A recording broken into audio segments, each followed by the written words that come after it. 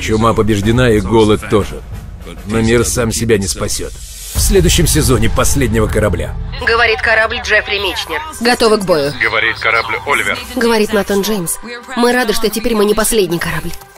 Сегодня великий день для флота и для... Простите, у нас связь пропала. Что произошло? Это не наше. Ложись! США стали жертвой кибератаки. Ваш лидер — революционер.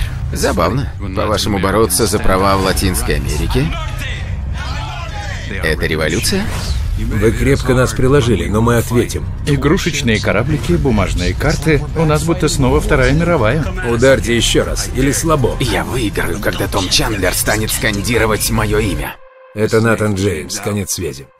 Последний корабль вернется. Смотрите новый сезон следующим летом на Lost Film TV.